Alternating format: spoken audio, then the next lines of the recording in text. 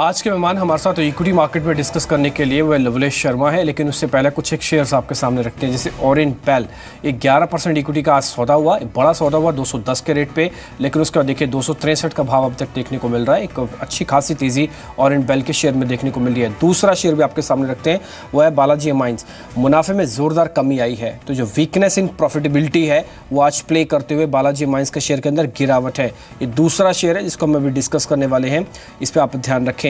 तीसरा शेयर आपके सामने भी आ जाएगा। वो है एक प्लास्टिक वाली प्लास्टिक ब्लेंड्स के नाम से कंपनी है। बेहतर नतीजा है कंपनी का। वन टू वन का बोनस संभव है। इसका प्रस्ताव आ चुका है। ये शेयर आज करीब चार परसेंट की बढ़त के साथ इस समय ट्रेड कर रहा है। 522 का शेयर करीब करीब चार परसेंट ऊपर है। एक और शेयर रखते हैं। छोटा है, लेकिन एक अच्छा मूव दे रहा है। वो है इंफ्रा कंपनीज़ में सद्भाव इंफ्रा इंफ्रा के स्टॉक्स तो कई बार हम आपको बता ही चुके हैं। इसमें सद्भाव इंफ्रा पर ध्यान रखें। ज़्यादातर आज इंफ्रा कंपनीज़ में जो तेज़ी है, वो बरकरार बनी हुई है। लवलेश, पहले तो आपका शुक्रिया समय देने के लिए। दूसरा, आप मेरे को ये बताएँ, आज और कल दोनों का निफ्टी का पैटर्न देख के लग रहा है कि बाज़ार is all together good, but थोड़ा सा दो दिन के चलने के बाद थका सा महसूस कर रहा है। कल थकावट जो लेटर हाफ़ में शुरू हुई थी, वो आज फ़र्स्ट हाफ़ में शुरू हो गई है। आज हफ़्ते का आखिरी दिन भी है। क्या करना चाहिए निफ्टी पर? Very good morning Dimpy I think थोड़ा सा कॉशियस अप्रोच रखनी पड़ेगी क्योंकि uh, अगर आप एवरेज वॉल्यूम पे देखिए उसमें कहीं ना कहीं डिक्लाइन है।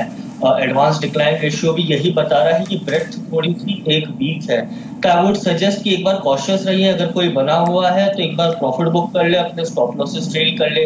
9440 9450 काफ़ी you know hard resistance on the upside तो हम एक बार स्लाइड डाउन कर सकते हैं मार्जिनली तो मैं यही सलाह दूँगा थोड़ा सा एक बार कॉशियस रहिए प्रॉफिट बुक करिए। सेवन राइस की तो स्ट्रैटेजी नहीं दूँगा मैं, लेकिन फिर भी हाँ यहाँ से एक बार गिरावट आती है टूवर्ड्स 9310 तो वहाँ पर हम सपोर्ट फॉर्मेट होते देखते हैं। तो फिर से बाय की रिकमेंड करें। ठीक है। आपको ये तो कोई भी एनालिस्ट अभी नहीं देगा कि आपको यहाँ पे बिकवाली कर देनी है, लेकिन ज़्यादातर एनालिस्ट ये ज़रूर कहेंगे कि किसी भी गिरावट में आप खरीदारी करें। आपका अगर मौका चूक गया है, आप ठीक है 9400 के ऊपर सौदा नहीं प्लस करना चाहते तो वेट एंड वॉच अभी रुक जाइए। इस सीरीज़ का मार्केट के पास 9300 का बेस है तो जब जब आपको गिरावट मिले, ये बेस ब्रीच नहीं होगा तो आप बाय कर सकते हैं, यहाँ पे खरीदारी की जा सकती है। कुछ एक डेरिवेटिव्स के ट्रेड भी आपके सामने रखते हैं, फिर एक एक करके एक एक शेयर पूछना शुरू करेंगे। आज आईटी के अंदर अच्छी बढ़त है। अगर आप देखें तो इन्फोसिस के अंदर अच्छी खासी स्ट्रेंथ देखने को मिल रही है। ये आईटी का इंडेक्स है और ये इन्फोसिस है। अब आप ज़रा फ्यूचर लेके आइए। इन्फोसिस का फ्यूचर्स ये करीब डेढ़ परसेंट की बढ़त के साथ ट्रेड कर रहा है, पाँच परसेंट ओ के साथ। पहला कॉल तो मैं एक बार इन्फोसिस पे आपकी राय चाहता हूँ, फिर छोटे शेयर्स पे भी आ जाएँगे। लवलेश इन्फोसिस पे क्या करें? आज अच्छा ब्रेकआउट मिला है। राइट अच्छा ब्रेकआउट में मिला है डिम्पिच जो 920 से लेके 940 की कंसोलिडेशन था उसका ब्रेकआउट है। तो काफ़ी कुछ एक जो हेड रूम है ऑन द हायर साइड अभी भी बचा हुआ है स्टॉक में। आ, हम इंट्राडे परस्पेक्टिव से इसमें नौ से यू नो पचहत्तर तक का एक बार अप मूव देख सकते हैं। जबकि स्विंग ट्रेडर्स के लिए मेरा टारगेट समवॉट 985 989 ज़्यादा अग्रेसिव नहीं क्योंकि थाउज़ेंड के लेवल्स पे इस शेयर में हमने गिरावट देखते हैं। तो एक बीस से तीस रुपए की चाल इन्फोसिस में और ऊपर देखने को मिल सकती है। ठीक है, कुछ एक और शेयर्स जिसमें छोटे शेयर्स हम डिस्कस कर रहे थे, उसमें एक और शेयर आपको जो ध्यान में रखना है, वो शेयर होगा प्लास्टिक ब्लेंड्स का। एक बार आप इसके चार्ट देखिए लवलेश प्लास्टिक ब्लेंड कितना ठीक लग रहा है आपको? मेरे ख्याल से अच्छा है। नो के साथ जो ब्रेकआउट है स्टॉक में आई थिंक सस्टेनेबल भी है 525 526 आई थिंक मेरे ख्याल से अपसाइड में अभी भी uh, 542 से 543 के लेवल चार्ट uh, में दिख सकते हैं। इंट्राडे परस्पेक्टिव में as a trading perspective I think ये इतना uh, ना दिख पाए हमको। पर हाँ मेरे ख्याल से कल मॉर्निंग कल यू नो लेट आवर्स तक के स्टॉक में तेज़ी बनी रहेगी। फ्रेश ब्रेकआउट आई थिंक यहाँ से तीन से चार परसेंट और ऊपर अपमूव दिखा सकता है। ठीक है इसी सीरीज़ में हमने एक और शेयर भी जोड़ा था वो था सद्भाव इंजीनियरिंग इस पे आप इंफ्रा माफ़ कीजिए सद्भाव इंफ्रा पे आपका व्यू क्या लवलेश मेरे ख्याल से ये भी एक पहला ऐसा काउंटर है जो मैं अपने खुद यू नो ट्रेडिंग लिस्ट में रखना चाहूँगा। तेज़ी है स्टॉक में 114 115 ओवरहेड में रेजिस्टेंस है। बट समवॉट अगर एक किसी को सेफ़ बेट लेनी हो तो आई वुड सजेस्ट कि एक बार 115 के ऊपर ये स्टॉक फिर से मूव करता है। Then we have immediate target of around 119 to 121 उस केस में हमारा स्टॉप लॉस 112 को जाएगा। तो रिस्क रिवॉर्ड के हिसाब से भी 115 के ऊपर सद्भाव इंफ्रा काफ़ी अच्छा है। एक बार इसमें दो से तीन परसेंट और अपमूव दिख सकता है 120 तक। ठीक है। एक और शेयर लिस्ट में आपके मैं जोड़ना चाहता हूँ। वो आज का एक अच्छा मूवर है। उसमें आप देखें इंफ्रा कंपनीज़ के अलावा जो अच्छे शेयर्स आज चले उसमें कुछ कैपिटल गुड्स के शेयर भी शामिल हो रहे हैं। रिलायंस इंफ्रा आप देखिए, इसको जो आर्बिट्रेशन का ऑर्डर मिला, ये भी अच्छा चला है। एक बार एक खबरों वाला शेयर में रिलायंस इंफ्रा पे आपका रिकमेंडेशन क्या है? मेरे ख्याल से ये short term swing traders you know जो मेरे ख्याल से 20 से 30 रुपए की एक चाल देखना चाहते हैं over a period of day might be till Monday और Tuesday I think Reliance Infra जैसा कि आपने न्यूज़ में बताया, काफ़ी कुछ चार्ट पे भी विजिबल है। नेक्स्ट रीजन का चार्ट पे मुझे 635 पे दिखता तो थोड़ा कंजर्वेटिव टारगेट मेरा सिक्स टू का रहेगा। नीचे में अगर ट्रेडर्स स्टॉप लॉस लगा सके तो सिक्स ज़ीरो टू तो रिस्क रिवॉर्ड भी फेवरेबल है, मेरे ख्याल से दो परसेंट की रिस्क पे आपको एक चार से पाँच परसेंट का अपमो दिख सकता है। इसके अलावा जिन शेयर्स में आज थोड़े गिरावट देखने को मिल रही है, उसमें ग्लैनमार्क है। एक बार ग्लैनमार्क के बारे में आपका व्यू चाहिए, क्योंकि ट्रेडर्स अभी थोड़ा फंसे भी हो सकते हैं, थोड़ा निचले स्तर पर बाय करने का मूड भी बना सकते हैं। आपके ग्लैनमार्क पे व्यू क्या है सर मैं फार्मा स्पेस में थोड़ा सा अभी भी यू नो कॉशियस हूँ डिम्पे जी। एक यू नो हमने आते हुए देखी है खबरें कि people are trying to you know go for value hunting and low level buying but theory के हिसाब से we need previous stock to be broken out in pharma space itself Glenmark पे भी uh, मेरे ख्याल से शॉर्ट टर्म में कमज़ोरी बनी रहेगी। सात सौ पैंसठ से सात सौ बासठ। आई थिंक ये अचीवेबल टारगेट है not just on intraday basis over period of time तो आई थिंक थोड़ा सा कॉशियस रहिए। जब तक के स्टॉक 802 के ऊपर नहीं जाता। मैं ग्लेनमार्क में बाइक की थोड़ी अवॉइड ही करूँगा। ठीक है, एक शेयर और है, वो है अलाहाबाद बैंक। इस पे भी आपका व्यू चाहिए, क्योंकि ये शेयर कहीं ना कहीं उस बेनिफिशियरी है जो कि रिलायंस इंफ्रा हम खबर बता रहे थे। ये आज अच्छा बिल्डअप भी दिखा रहा है, पंद्रह परसेंट ओ अच्छा ओ है इसके अंदर। आपके रिकमेंडेशन क्या है अलाहाबाद बैंक पे? बाय रिकमेंडेशन ही रहेगा। ये मैंने पहले भी एक बार सजेस्ट करा है थिंक ये स्टॉक काफ़ी अग्रेसिवली बुलिश स्टैंड दिखा रहा है। Not just on chart but derivatives data जैसा आपने बताया, उसके हिसाब से भी। Not just this series next series में भी मेरे को इसमें हायर टारगेट नज़र आते हैं। तो कोई भी यहाँ से अगर ट्रेडर एक पोजिशनल व्यू पे लेकर चले Allahabad bank is a candidate जो हमको थ्री डिजिट में दिखेगा over a period of time ठीक है चलिए अब सीधा न्यूज़ रूम चलना होगा पहले सुमित से एक शेयर समझ लेते हैं जो कि ब्रोकिंग हाउसेस के बेसिस पर वो देते हैं उसके बाद आगे बढ़ेंगे। सुमित बताएँ शेयर शुक्रिया डिम्पी अभी आप इंफ्रा स्पेस की बात कर रहे थे उसी स्पेस से एक शेयर चुना है अटलांटा को चुना है। अटलांटा पहले जो कंसर्न कंपनी के साथ था वो था डेट कंपनी ने तीन से चार साल से अपने डेट को रिड्यूस किया है। इंफ्रा स्पेस में कंपनी है बीओटी ट्रिपल पी यानी पीपीपी मॉडल पे या फिर ईपीसी बेसिस पे कंपनी कामकाज करती है, जिसकी वजह से कंपनी के मार्जिन जो है, बाकी छोटी इंफ्रा कंपनी के कंपैरिजन में काफ़ी ज़्यादा है। चौहत्तर परसेंट की ऑपरेटिंग मार्जिन में कंपनी कामकाज करती है, जो कि पिछले तीन साल में पच्चीस परसेंट से बढ़कर आया है। तो जैसे जैसे कंपनी ने अपने मॉडल में चेंज किया है, वैसे वैसे कंपनी के मार्जिन की सिचुएशन भी बेहतर होते हुए दिखाई पड़ी है।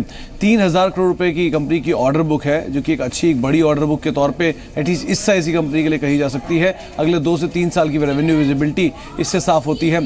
स्ट्रॉन्ग मार्जिन के साथ इसलिए अच्छी प्रॉफिटेबिलिटी भी कंपनी देख रही है और Q4 में अनुमान लगाया जा रहा है कि मुनाफा 70 परसेंट तक बढ़ता हुआ दिखाई पड़ सकता है एक स्ट्रॉन्ग ऑपरेटिंग मार्जिन के साथ।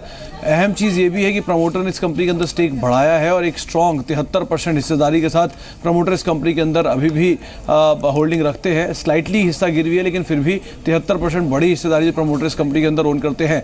अब बात करते हैं वैल्यू की। एफ़ आई के लिए करीब करीब चौदह रुपये की ई e है और महज ये शेयर जो है वो आठ से नौ के मल्टीपल पे कामकाज कर रहा है। बड़ी चीज़ ये है कि इंफ्रास्पेस में डेट फ्री स्टेटस की तरफ़ से कई सारी कंपनियाँ कंपनी रिड्यूस कर रही है डेट टर्न अराउंड स्टोरी हुई और उसके अलावा एक अच्छी वैल्यू पर अवेलेबल भी है। जिस तरह की रेवेन्यू विजिबिलिटी है, जिस तरह की ऑर्डर बुक है, उसको देखते हुए यहाँ पे जो रिपोर्ट्स रिफर किया जा रहा है, उनका मानना है करीब करीब डेढ़ सौ रुपये तक की चाल भी शेयर में देखने को मिल सकती है। ठीक है तो अटलांटा पे आप नज़र रख सकते हैं। ऐसे 150 का टारगेट अभी एक सौ अठारह पे चल रहा है, लेकिन ये चुनिंदा शेयर्स होते हैं जो हम आपके सामने रखते हैं। ताकि आप लिस्ट बना लीजिए। जब भी आपको मौका लगे, आपके फंड्स हो इन शेयर्स को प्लस कीजिए और थोड़ा रख लीजिए अच्छा पैसा आपका बन जाएगा। 150 तक अटलांटा जा सकता है। सो मैं शुक्रिया आपका, कार्यक्रम में जुड़ने के लिए। अटलांटा एक बार आप भी देख लीजिए। आपको कैसा लग रहा है, लवलेश? काफ़ी यू नो अट्रैक्टिव चार्ट है। थोड़ा सा लॉन्ग टर्म देखे जो भी जैसे सुमित ने बताया। आई थिंक वो चार्ट पे भी विजिबल है। काफ़ी टाइम बाद इस स्टॉक ने ट्रैंगल ब्रेकआउट दिया है मंथली चार्ट पे। एंड प्लस यू नो इसने प्रीवियस जो रेजिस्टेंस तो उसको काफ़ी अच्छे से ब्रेक करा सस्टेन कर। रहा है तो risk reward I think favourable ही अगर कोई एक लॉन्ग टर्म लेना चाहे आई वुड सजेस्ट कि आप 109 110 on closing basis stop loss रखिए। 150 काफ़ी कुछ विजिबल है।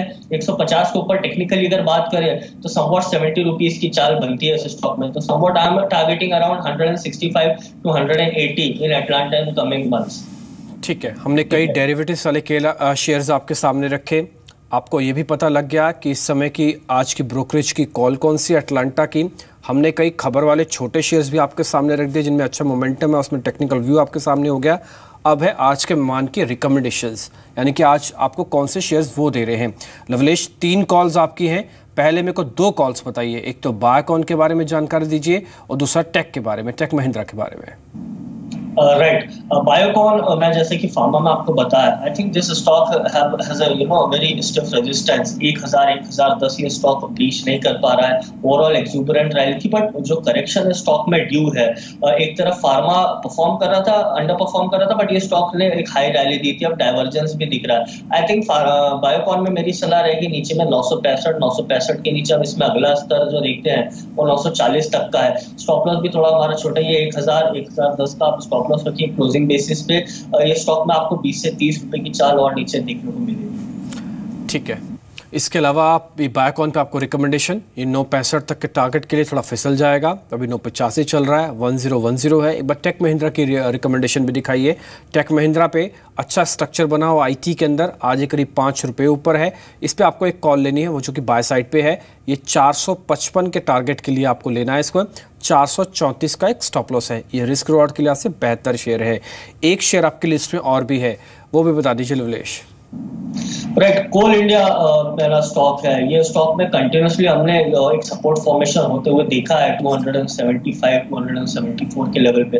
उसको ब्रेक भी नहीं कर रहा है। चार्ट का on the upside there is a huge gap as well why data भी मुझे कहीं ना कहीं ये दर्शा रहा है कि आने वाले सीरीज़ में जो इसमें बिल्टअप है उस नेगेटिव uh, से पॉजिटिव की तरफ़ जा रहा है। तो थोड़ा सा अर्लियर हमको सिग्नल मिल रहा है स्टॉक में। उसमें मेरा ऊपर में लक्ष्य इंट्राडे बेसिस पे दो uh, से छियासी हो सकता है। Over a period of time तीन से तीन का हम चल रहे हैं। रिस्क रिवॉर्ड भी फेवरेबल है। 272 क्लोजिंग बेसिस पे हमारा स्टॉप लॉस रहेगा।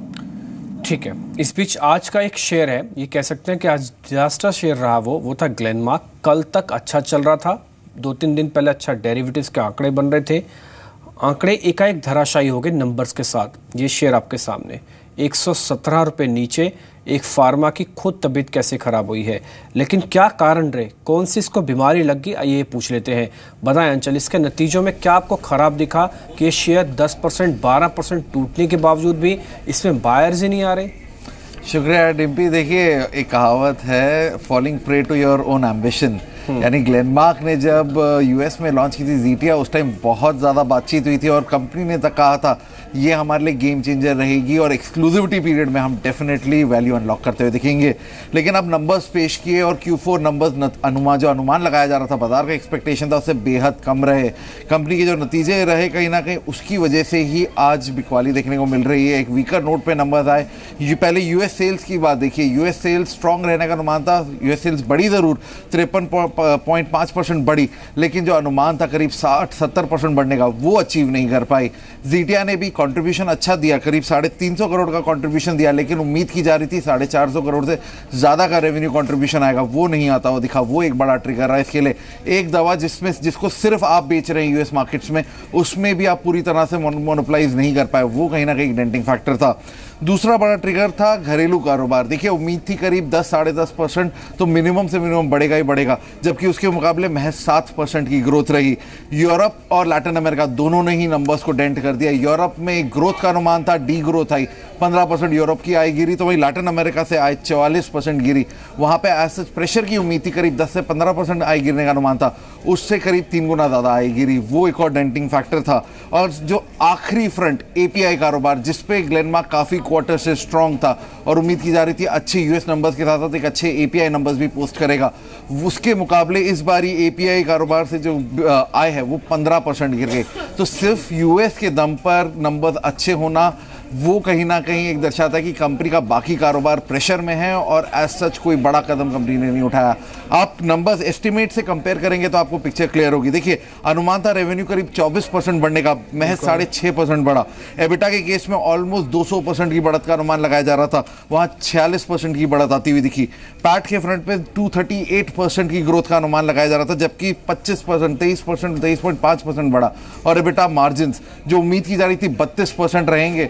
बत्तीस परसेंट के मुकाबले महज अठारह परसेंट रहे। तो यानी नंबर्स बड़े ज़रूर कंपनी के लेकिन जो उम्मीदें की जा रही थी कि एक out of the box surprising number आएँगे वैसा कुछ नहीं और वही कारण है कि सरप्राइजिंग सेल ऑफ़ आता हुआ दिखा ब्लेन ठीक है इस पूरी रिपोर्ट आपने सामने रखी दी है कि अनुमानित क्या था और क्या आया। मेरे पे जो सबसे इंटरेस्टिंग था वो आना चाहिए था कि 200 परसेंट से ज़्यादा मुनाफा और आया सिर्फ़ 20 परसेंट मुनाफा। तो कैसे चलेगा शेयर्स? ये तो समझ में आ रहा है। लेकिन एक शेयर हमने आपको बता रहा चल रहा है वो है कोटक महिंद्रा बैंक, इस पर क्यू भी आ गया और अभी है जो लेवल्स हैं इसके वो 940 के ऊपर हैं। ये रिकमेंडेशन 970 तक की है। आपके आपका सुझाव चाहिए इस पर लवलेश कोटेक और कितना चलने वाला है? ट्रेडर्स ने अच्छा पैसा बना लिया है, लेकिन इन्वेस्टर्स भी पैसा बनाएँगे क्या? I think yes you know एक रेंज शिफ्ट हुआ है and generally when we are seeing range shift तो जो हाई टारगेट्स है मेरे ख्याल से वो जल्दी अचीव होंगे as compare to any correction तो any dip in this stock around 932 925 should be utilized 920 पे काफ़ी स्ट्रांग सपोर्ट है स्टॉक uh, का. आई थिंक ऊपर में अभी भी अपसाइड खुला हुआ है towards uh, 965 over a period of time जबकि इंट्राडे में हम 950 तक के इंट्राडे में भी चाल देख सकते हैं। ठीक है तो 950 तक भी ये शेयर जा सकता है। इसलिए अगर ट्रेडर अभी भी बने हुए हैं इसके अंदर तो एक बार बने रह सकते हैं। ये कॉल है 970 के टारगेट के लिए। लवलेश शुक्रिया आपका, कार्यक्रम में जुड़ने के लिए, बताने के लिए अलग अलग स्टॉक्स में क्या किया जाए।